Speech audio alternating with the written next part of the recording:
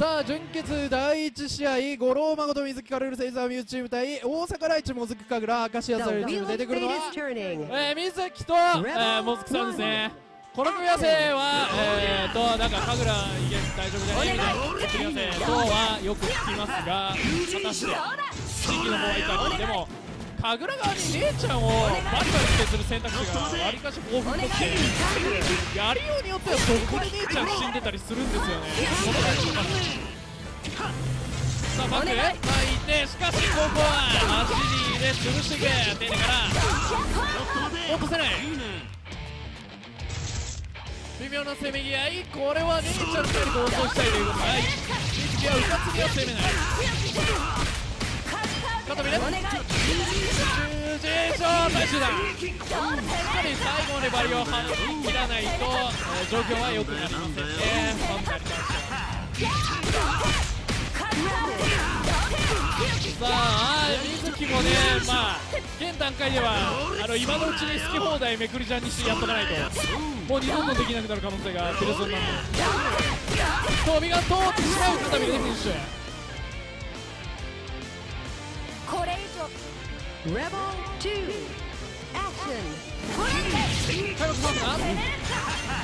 ークなんじゃねえワイバンでねやはり開幕でターンを取ってくるのは水木か落としてしかし龍神賞お願い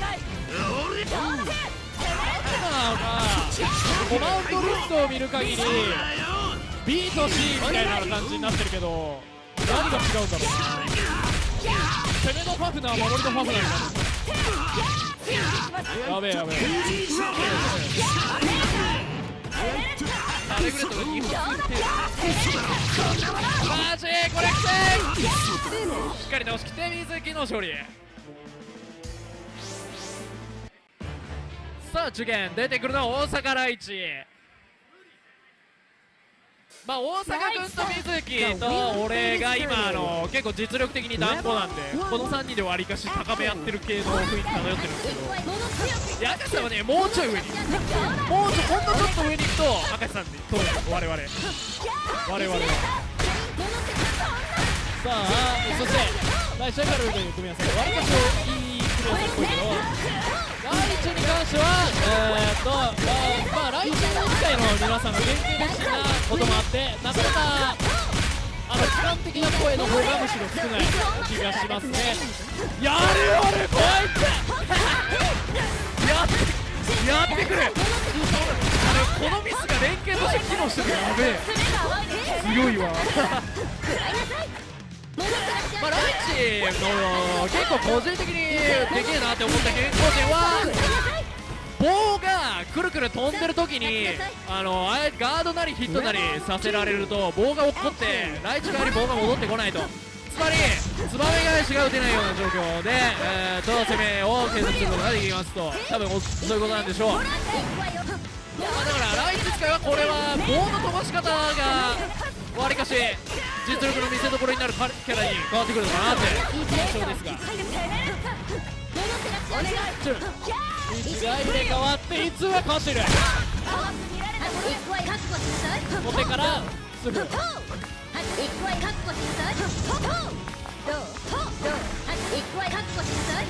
えーと 2D で置いて横になって前小手で飛ばしてえーと縦回転になってそれでスーフィーがあの軌道になってるっていう感じ合ってる？多分足だけは忘れてるんだけど。覚えてらんねえよやこの覚えてらんねえと戦いのいキャラだけど。結構忘れるんだよな。ツバメツバメの後はどっち？縦？横？縦？わかんねえ。置いて置いてもうわかんねえ2回固定されるとあの無理。あー無理無理無理無理無理。お前いい加減せよ。お前面白がってるだろ。分かんねえ分かんねえやめて。立て立て。坂行く坂行くつまんだよ。つまめつまめ。挟み込め中段は止まれる縦回転もうずってる捕まえてさすがにまあ、まあ、今の諦めずに打ったところよくやったと言いたいところです。往生際 Rebel 3. さあ開 Action. 幕どうする？ビバ横横横。横首いやこの間ひろゆき会見に行かせてもらったんですけどプロメテさんの 6B の使い方超うまかった。なあれは全国のライブ使いぜひ参考にして。あ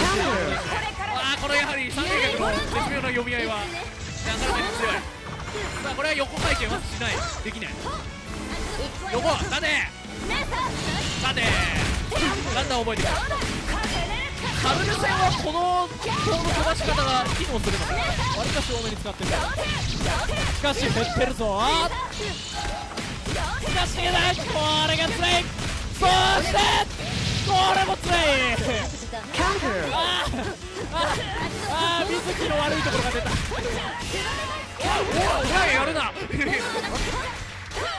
あなんかだんだん喧嘩っぽくなってきたぞしかし CT からここでバンソー姉ちゃんを消しかけてこの微妙なところ触ってるバランチが3つどうしてこれは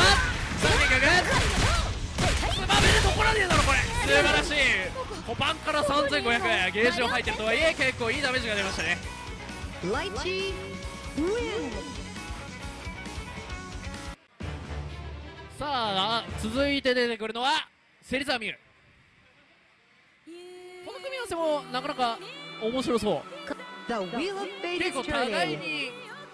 あまりやりたい放題はできなさそうという印象を抱えてるような気が開幕は大阪来地上表から横行動課題がこれを防ぎ反発確認それを攻めていくガシ逃したくないくらいにけ見てまいて見てまいてまいてしかし棒が強いぞ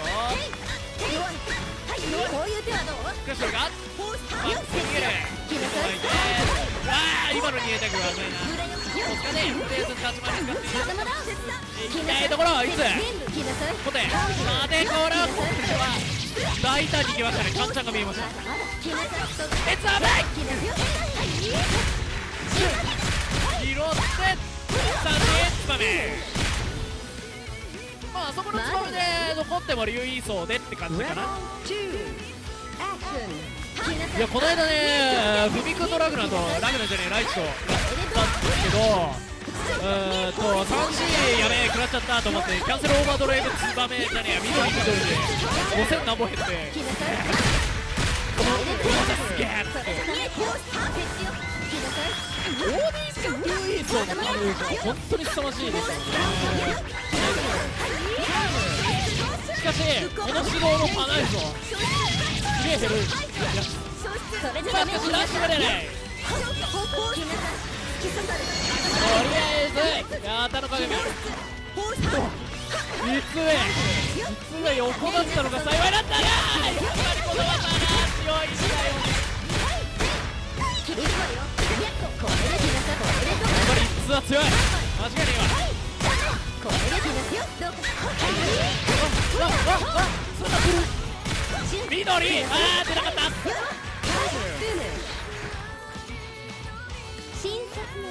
今の6子が見なかったことにしましょう。さあ大将出てくるのは五郎誠。この組み合わせわりかしいい組み合わせっぽいんですよね。まあ多分キャラパワー的にはさすがにライチに分があるでしょうが。このは全然やること。あるさあバイオハザード状態のコロシアムです色が色が色が好きじゃない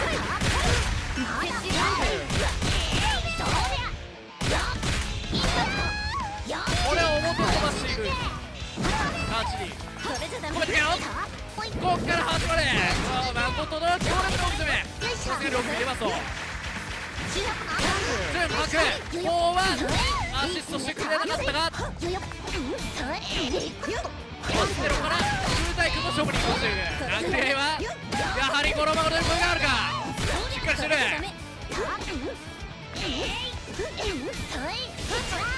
っていたさすがに残りません？ねまともにやればさあもうとっとと攻めてしまおうというところか西からパンチずは五郎誠先制して第2ラウンドです。ね見ていきましょう。はい。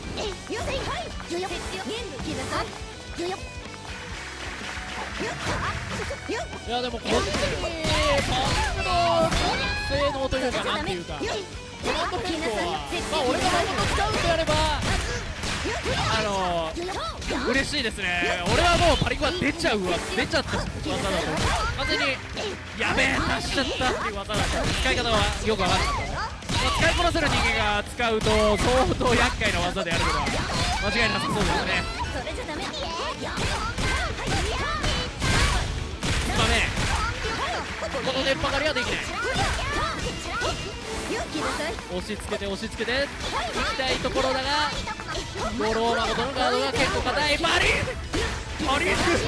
それじゃダメ決めさいこれ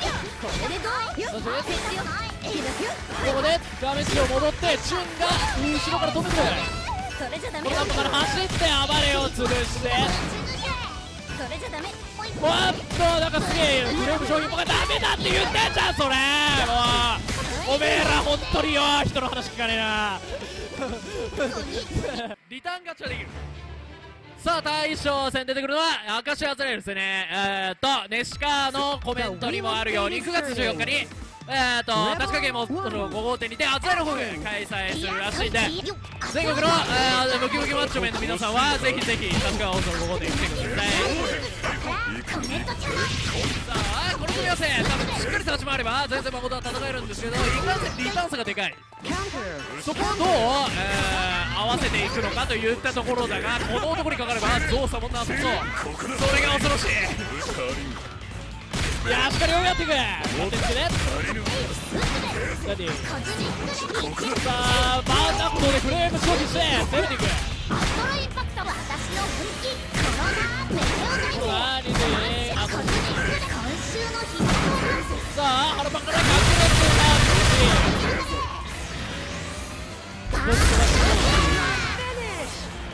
うめえうめえ。Rebel 2. さあ第2ラウンドまあバースは使わせたと考えるべきでしょう。さあ大振りの技を振り出しているアザエルに対してここは軸技でしっかり対応するという構図が出来上がっているコメントがしっか手前にも受けている CT が出てしまったような感じだこれはさすがにやっぱり誠は CT が出て。ますよないとしかしねなったんですねどうするわあダンボールをしっかり取るホストラン飛んでいる素晴らしいまだ残るかな残るかな残るね。コメント見てめーちゅだ単発確認サードみたいなことしてきたな。中足陣内みたいな素晴らしいな。五郎誠勝利